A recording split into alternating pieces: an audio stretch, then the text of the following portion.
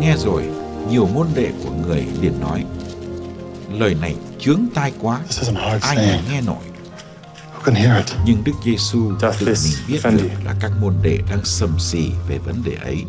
Người bảo các ông, điều đó các anh em lấy làm chướng, không chấp nhận được ư? Vậy nếu anh em thấy con người lên nơi đã ở trước kia thì sao?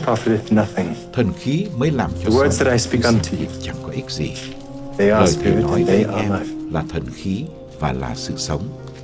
Nhưng trong anh em có những kẻ không tin. Therefore said I unto you that no man can come unto me except it were given unto him of my. Father. Người nói tiếp, vì thế thầy đã bảo anh em, không ai đến với thầy được nếu Chúa Cha không ban ơn ấy cho. Từ lúc đó, nhiều môn đệ rút lui, không còn đi theo người nữa. Lord, Vậy Đức Giêsu hỏi whom nhóm shall we go? 12, cả anh em nữa, thou hast the words anh of em eternal cũng muốn life, bỏ đi hay sao? and we believe Ông Simon Phêrô liền and nói, are sure that thou art thưa thầy, Christ, bỏ thầy thì chúng con biết đến với ai? Thầy mới có những lời đem lại sự sống đời đời. Phần Have I chúng not con, chosen you chúng con đã tin và nhận biết rằng chính Thầy là đấng thánh của Thiên. Chúa. Xin kính chào quý ông bà, anh chị em. Hôm nay là thứ Bảy, ngày 11 tháng 5 năm 2019. Cuộc đối thoại giữa Đức Giêsu và người Do Thái đạt tới đỉnh cao của mặt khải về phía Đức Giêsu và của sự lựa chọn về phía các môn đệ trong bài tin mừng hôm nay. Đức Giêsu Đức Giêsu tuyên bố lời Thầy nói với anh em là thần khí và là sự sống. Và Thánh Phêrô đáp lại bằng lời cam kết và tuyên xưng thưa thầy, bỏ thầy thì chúng con biết đến với ai? Thầy mới có những lời đem lại sự sống đời đời. Thật ra, lời của đức giêsu cũng gây sốc cho các môn đệ.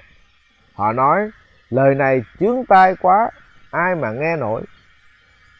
Từ lúc đó, nhiều môn đệ rút lui, không còn đi với người nữa. Chắc chắn lời của đức giêsu và chính bản thân của người cũng gây cho con người mọi thời và cho chính chúng ta nữa những khó hiểu. Chúng ta nghe lời chúa hàng ngày nhưng có nhiều lúc chúng ta không để tâm. Và nếu có chú ý thì chúng ta cũng lại chẳng cảm th- à, lại cảm thấy chói tai và khó hiểu. Chúng ta rước mình vào máu Chúa Giêsu hàng ngày nhưng chắc chắn có những lúc chúng ta tự hỏi có thật đây là mình và máu Chúa không? Ăn thịt và uống máu Chúa nghĩa là gì và đem cho chúng ta những hiệu quả nào. Nhưng may quá, Đức Giêsu nói, thần khí mới làm cho sống, chứ xác thịt chẳng có ích gì. Lời Thầy nói với anh em là thần khí và là sự sống. Lời của Đức Giêsu là thần khí và là sự sống, nên người cũng phải nên người nghe cũng phải ở trong thần khí và sự sống, thì lời của người mới vang vọng được, mới đụng chạm được. Xin cho chúng ta có được kinh nghiệm sâu xa hơn nữa lời của Đức Giêsu và rộng hơn nữa lời Chúa trong Kinh Thánh, đem lại cho chúng ta sự sống. Không chỉ sự sống đời sau, nhưng là, còn là sự sống đời này.